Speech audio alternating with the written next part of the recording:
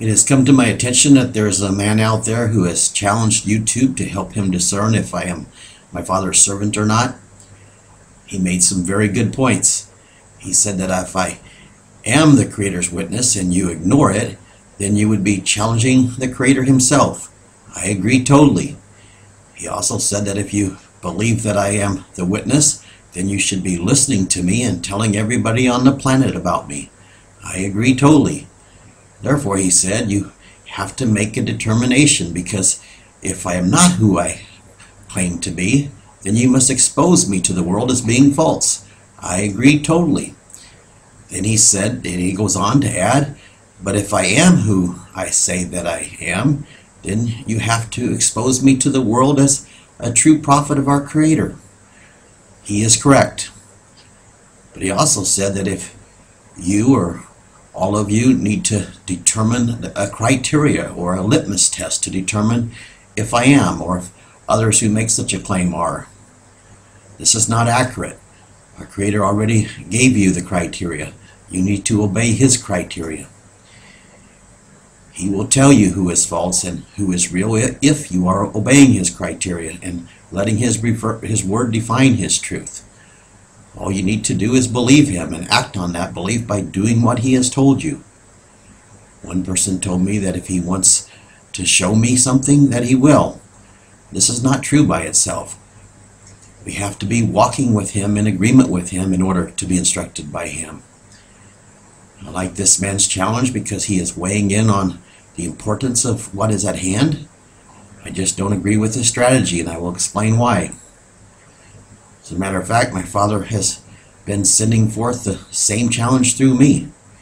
He has been crying out to you to either disprove me using his criteria or, or jump from your sinking ship and follow him. For about eight months now, nearly everyone has ignored what my father is restoring. The man making this challenge has stepped up to the plate and has hearkened to some of the instructions that have been given. This is good, but he is right. If I am who I claim to be, then hearkening to what is being given must become a primary focus, and each of you must make some very serious decisions because we do not have much time left to join in in sounding the trumpets. So each of you must indeed decide and decide quickly. But trying to decide from determining a logical basis from a group census is a dangerous strategy.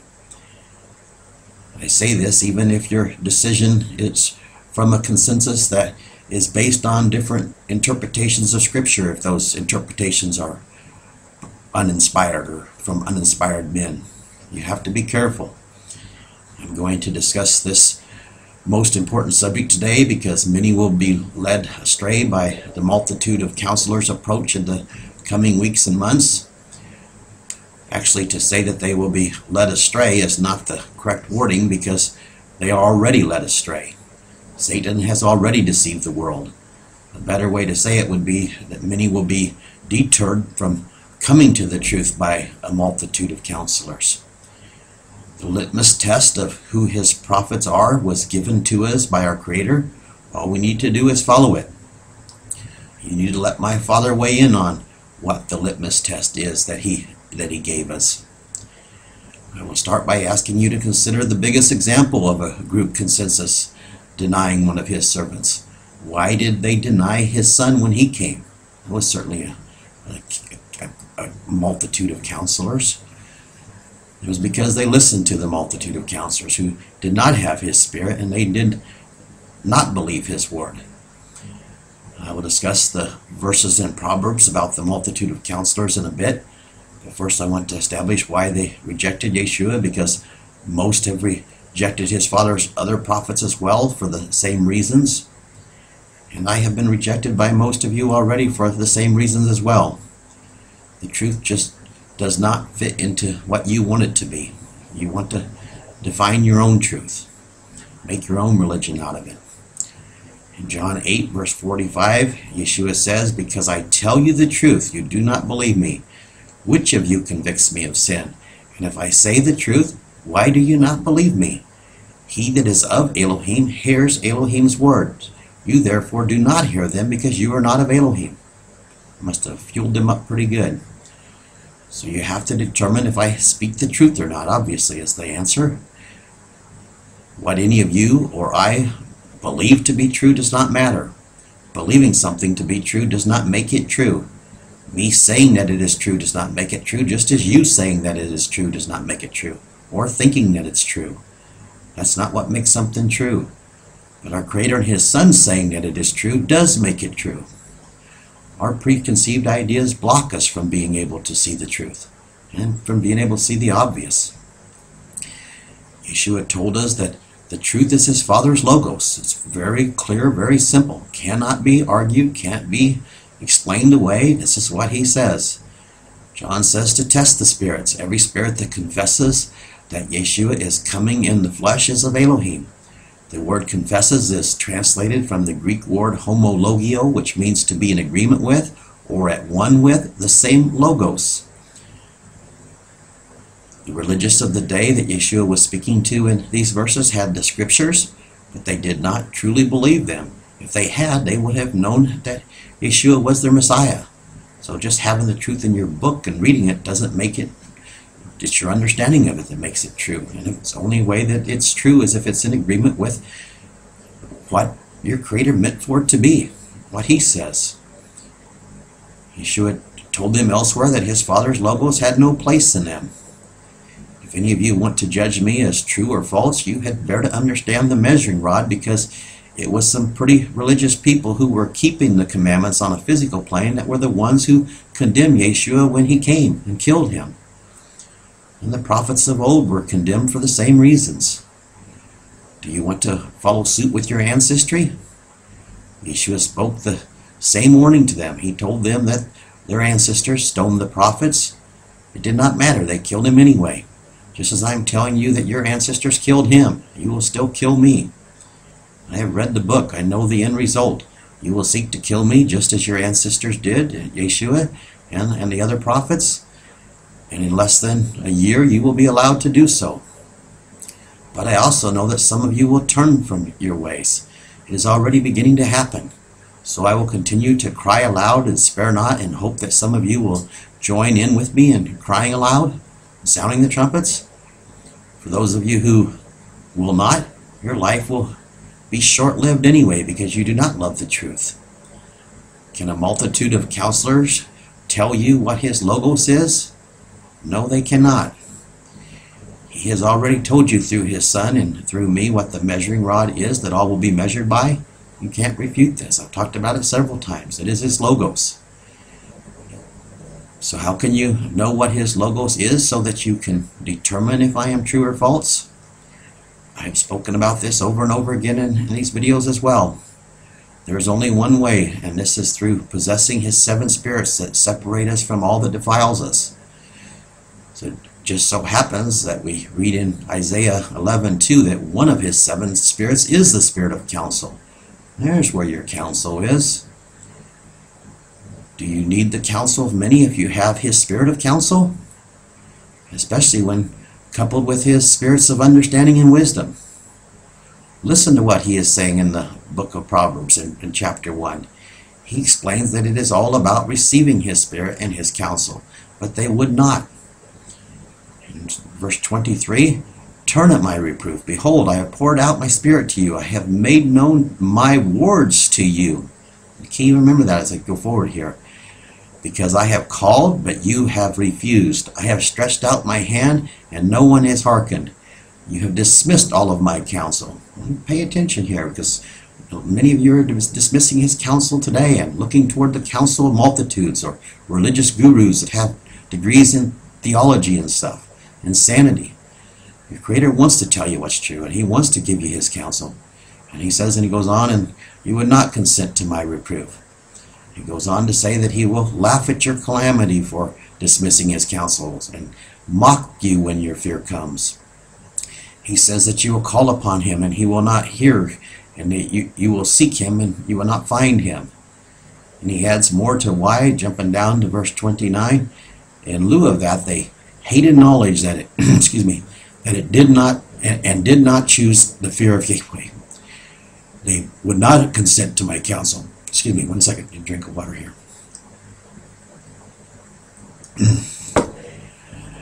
they would not consent to my counsel. Still got a frog. They scorned all of my reproof.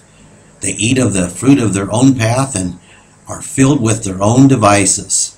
I hope that you're hearing this. He is saying that they decided right from wrong for themselves, the same as the original sin of Adam and Eve.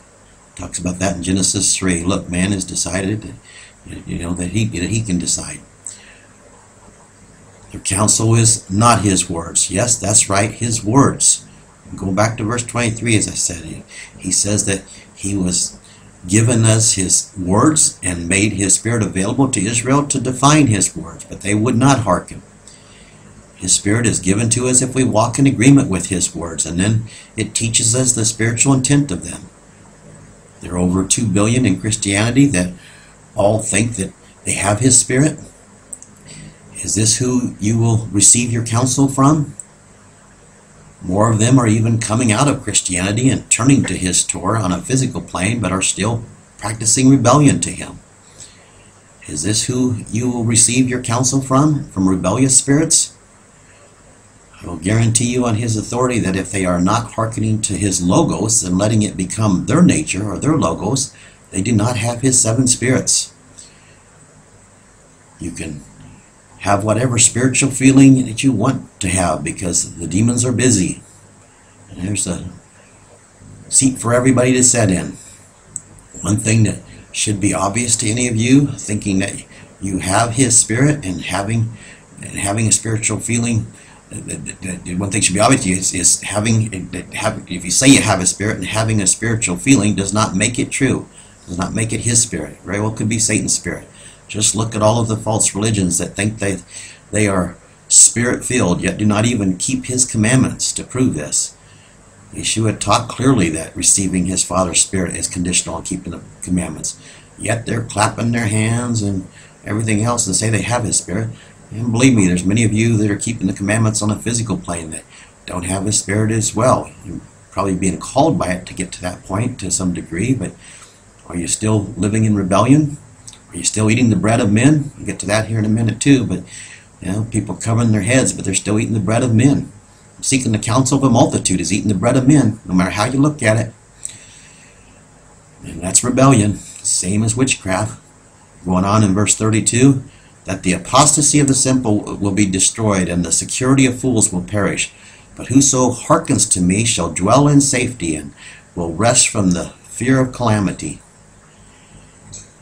It is very important to not trust the translations of men.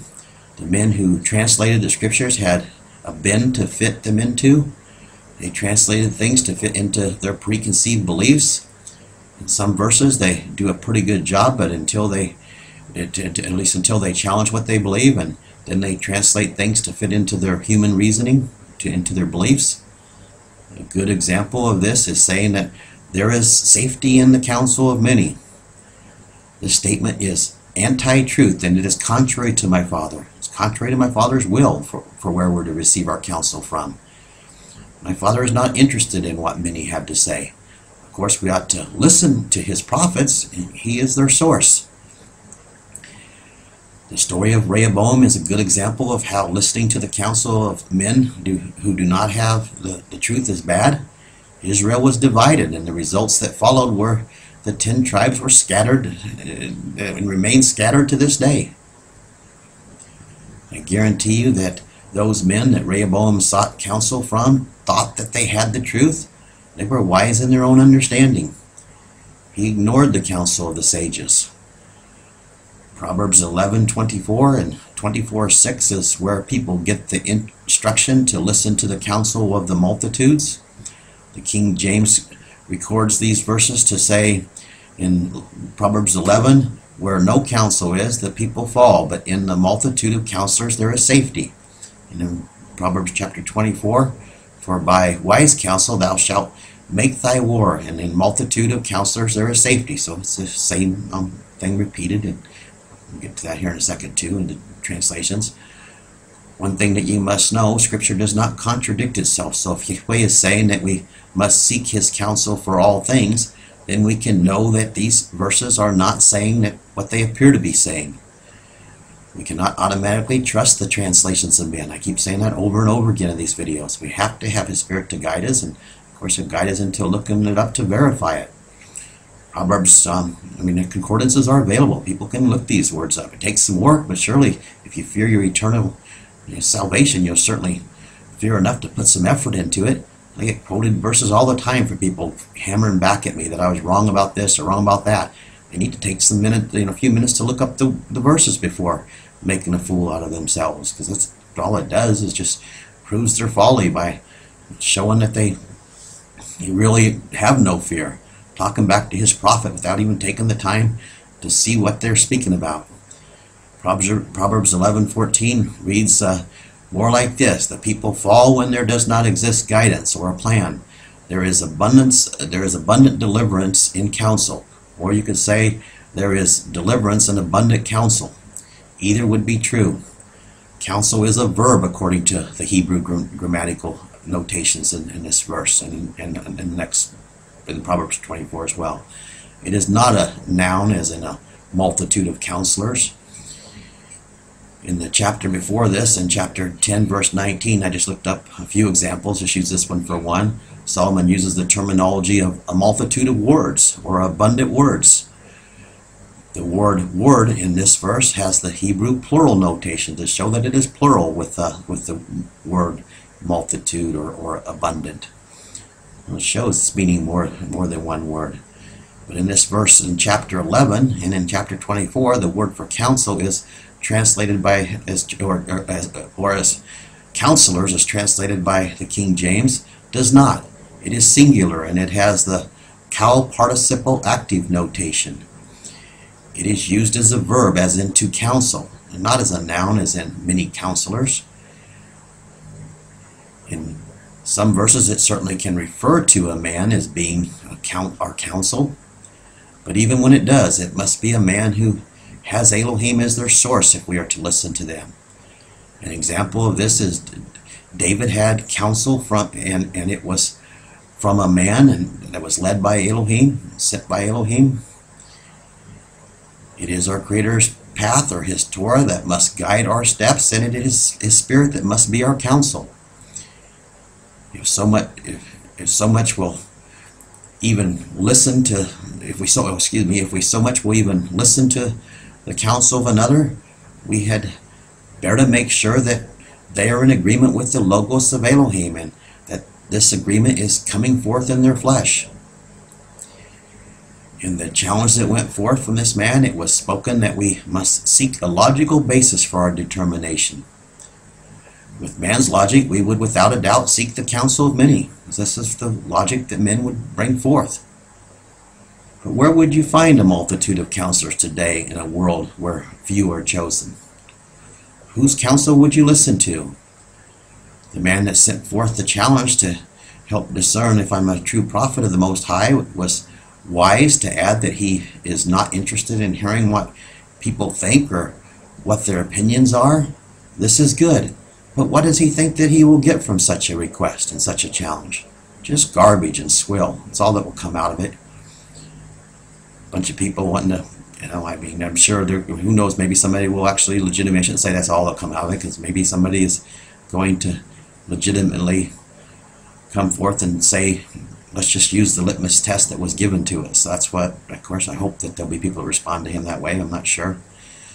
Anyhow, it all goes back to knowing the measuring rod and measuring what I say against it. And in order to have the measuring rod, you must have his seven spirits. It's plain and simple. There's no other way. So in the beginning phases of your growth, you have to believe the word and act on that belief by doing what it says. And you have to seek his counsel and the counsel from his known prophets and no other. Listen to the words of Moses. And Moses tells us who the true servants are, and I'll get to that here too in a little bit. But anyhow, his, his litmus test is determined. You don't need to do a YouTube request. Turn to his word. Tells us the litmus test. When Elohim said in Ezekiel 24 24 that when this sign comes, you can know that it is me that sent it, you had, you have to believe him and act on that belief. And of course, I've talked about what this sign is in many of these videos recently, so I'm sure the people listening to this have have, I'm talking about the, the, the head coverings and the and the um and the and the not covering your lips, the crying aloud, and and also the factor what I told about not eating the bread of man and being ready by putting the shoes on your feet and such. This is a sign, he said. When a sign comes from somebody who would be um, escaped from the captivity or delivered from the captivity, you can know that it is he. So he that sent it. Like I said, he is not interested in what people think. I said in other videos that he is showing that the test that he is putting in front of you today is that you must believe his word. He also sent forth other proofs as well. Believe him. He said that his two witnesses would turn the water into blood. Believe the sign when it comes, and it has happened. It has already came. It's impossible to refute. The other verse in Proverbs uses the similar wording as in Proverbs 11 and Proverbs 24 6. It says, And through guidance or through a plan, you make your war. There is deliverance in much counsel, or there is much deliverance through counsel, however you want to do it. In this example, like the first, I do not know for sure where the much or the abundant belongs because in either place it works it works and it's true either way. But it's certainly not the way the King James has it translated. Who delivers us in war? Our Creator must be the counsel. He is the deliverer. We must seek his abundant counsel and seek to have his counsel in abundance. And there is much deliverance in doing so indeed. The point that I'm trying to make is your counsel had better not be coming from many counselors. This is opposite to what is true. It had better be coming from Elohim's seven spirits or someone who has them. And this all goes back to testing the spirits and knowing the measuring rod. Every spirit that is in agreement with the logos of Yeshua has, as evidenced by what they live in their flesh is of Elohim, and every spirit that does not is the spirit of Antichrist or Anti-Messiah. His true servants are those who not only have the commandments of Elohim, but also have the same faith that Yeshua had in the flesh, and the same faith that he still has today in the spirit realm. He was his father's Logos in the flesh, and now he bears the name, the Logos of Elohim in the spirit. This is recorded in the book of Revelations. You can listen to these video if you can listen to these videos and say that I am in disagreement with him, then you have a different Messiah and you have rejected his counsel. His father word his father's word testifies to me just as it did to him. Yeshua said in Matthew 9, verse, verse 10, it starts off, and a summary here, but when Yeshua heard that they were grumbling that the transgressors and the tax collectors were sitting with him and his disciples, he said to them, They that are whole need not a physician, but they that are sick do. Moreover, go and learn what this means. I will have mercy and not sacrifice, because I have not come to call the righteous, but sinners to repentance. I have spoken in previous segments what the Greek word that is translated as mercy in this verse means. It carries with it having brokenness over our transgressions and over what the transgressions of men have caused. Spiros Zodhiates' complete word study says that it means a special and immediate regard to the misery which is a consequence of sin. And we know that sin is transgression of the Torah, according to the Apostle John. The point that Yeshua is making is those who think that they are not led astray are not those whom he came to call. Those who are righteous in their own eyes do not need to repent because they are already good to go with their mind in their minds. They think that they are already saved. They will not hearken to his prophets. Those that he was eating with saw their brokenness. They wanted healed. The self righteous do not. The same applies to each of you today. If you think that you are already good to go with your Creator and you do not need to hearken to His servant, well, you are no different than the religious of that day. If you do not believe that His Word testifies to me, then you do not believe His Word because it is pretty straightforward. Our Creator is not going to let an impostor come forward with His sign because He said that when it comes, you can know that it is Him. He is Almighty. The same goes with the turning the water into blood. It is impossible to not deny that he has held this back until now because it is so simple that anyone should have been able to see it, yet none could. In Matthew 11, verse 18, because John came neither eating nor drinking, and they say he has a devil. The Son of Man came eating and drinking, and they say, Behold, a gluttonous man and a winebibber, a friend of the tax collectors and sinners. But the work from his children is justified by wisdom. Another parable. The reason that he did that he said this is because the work that he came to do testified that he was the Messiah. The same is true of me. Don't believe me because I say that I'm his prophet. Look at the work that he has sent me to do to testify to the truth of the matter. Yeshua reasoned with them then the, the same way back then. He said in John chapter 10, You say of whom the Father has sanctified and sent into the world, you blaspheme, because I said, I am the son of Elohim. They're sitting there saying, you're, you're saying that you're the son of Elohim, you're blaspheming. And he goes on, he says, If I don't do the works of my Father, then don't believe me. I say the same thing. Go back through all these videos from the beginning. Some of you have, and you're still struggling with this. I just, you obviously, you just, the logos has no place in you, and you have to examine that. The works testify to it. He said, But if I do do the works, even though you do not believe me, believe the works, that you may know and believe that the Father is in me and I in him. I say the same to you. What am I proclaiming anyway? Am I proclaiming the works that he has already had his servants record or not? You can say I'm not, well, I don't, don't have, don't have, there's not going to be much hope for you, I'm sure. Believe me for his work's sake, not because I say so. I do not bear witness to myself. My Father bears witness that he has sent me through his word.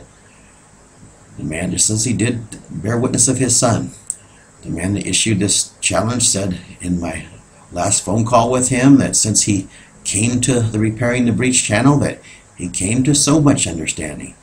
He said that so many changes for the good increased in his life. And of course, he started obeying commandments he hadn't have and such, but that's not the point of this. Then it was like the next day he forgot all about this because he got angry at some rebuke. Others have written me and said that they are turning to the Torah because of what my father and his son are giving through me. They have written me and said that they are repenting from their transgressions and turning to their Creator's Torah. Is this the mark of a false prophet? Of course, the numbers, even though there's getting to be more and more and more, the numbers are still small because people are buried in their lies and that, of course, is actually more evidence that I'm his prophet, but when you really think about it, because the flock has been small. No, this is not a mark of a false prophet. Moses said that if anyone leads another away from the path that was given, that, that they are false and that they need to be stoned. Compare this to Saul of Tarsus, who had the opposite effect and turned billions away from the Torah over the last couple thousand years. If you cannot see the truth or the logos of Elohim being spoken through me, then you hate his logos and you have a different logos guiding you, plain and simple. Your litmus test is your Creator's Word and the logos that His Word defines. If you cannot believe Him, you most certainly will not be able to see or believe whom He has sent. Same thing Yeshua was reasoning with them about back then. This is why your ancestors killed Him, and this is why He will kill me. History is being repeated. Surely you would want to be on the right side of history correcting itself, but sadly most of you won't. Your Messiah has taken up his residence in me, and he is my counsel.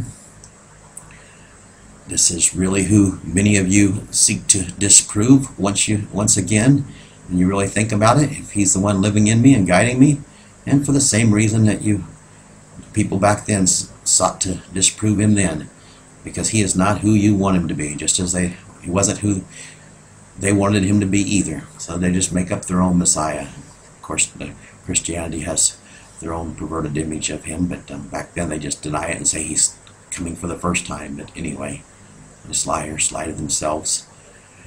I come not in my own authority. My Father's word backs me up, and his word testifies to me, and his logos testifies to me. I am crying out for you to jump from your sinking ship and let him throw you a lifeline. His line is his son's blood, but you have to turn to his ways in order to have it applied on your behalf.